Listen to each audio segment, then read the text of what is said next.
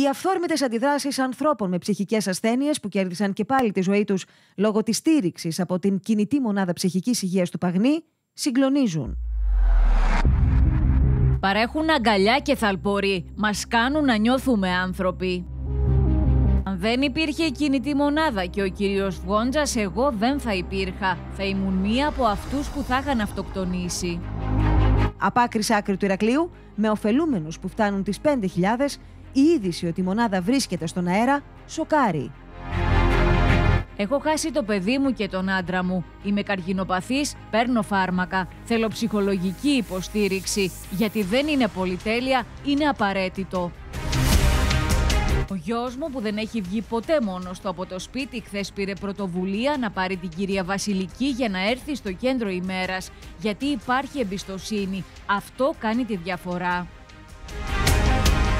Από τον περασμένο Ιούλιο που έληξε η σύμβαση για τους εργαζόμενους και παρά τις δεσμεύσεις ακόμη και απευθείας από το Υπουργείο, όχι μόνο δεν υπήρξε νέα προκήρυξη, αλλά δεν παρατάθηκε καν η προηγούμενη, γεγονός που σημαίνει πως οι εργαζόμενοι στην κινητή μονάδα εργάζονται μεν κανονικά, αλλά δεν πληρώνονται και δεν προβλέπεται από πουθενά ότι θα πληρωθούν. Για δύο μήνες πέρσι μείναν απλήρωτοι. Και δύο μήνες μείναν απλήρωτοι. Αυτή τη στιγμή είναι απλήρωτοι από την 1η Αυγούστου. Και συνεχίσαμε με την βεβαιότητα ότι οι υποσχέσεις θα τηρηθούν. Άρα εδώ καλούμε το κράτος με οποιαδήποτε μορφή. Το Υπουργείο, την ΔΥΠΕ, το Παγνί, να τηρήσει υποσχέσεις. Με μια πραγματικότητα που λέει ότι τα τελευταία χρόνια οι άνθρωποι αυτοί δουλεύουν κανονικά, αλλά εισόδημα δεν έχουν για δύο ή και τρεις μήνες, το τελεσίγραφο που δίνουν έως την ερχόμενη Παρασκευή είναι ξεκάθαρο και πάντως η τελευταία τους κίνηση πριν σταματήσουν τις επισκέψεις στην ενδοχώρα. Στενοχωριόμαστε και το απευχόμαστε να έρθει η στιγμή την Παρασκευή να πούμε ότι κλείνουμε.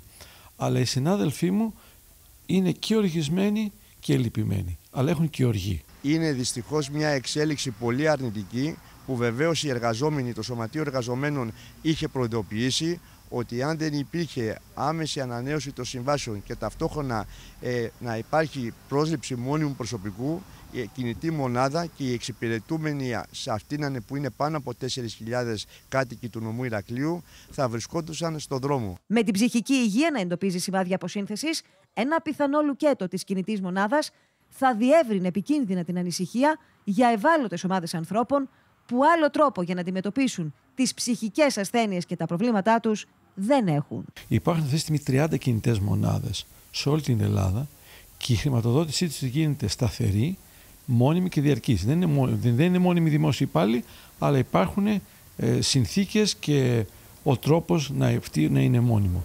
Εμείς δεν ξέρω για ποιο λόγο είμαστε πάντα στον αέρα. Ε, και αυτό θέλουμε να σταματήσει.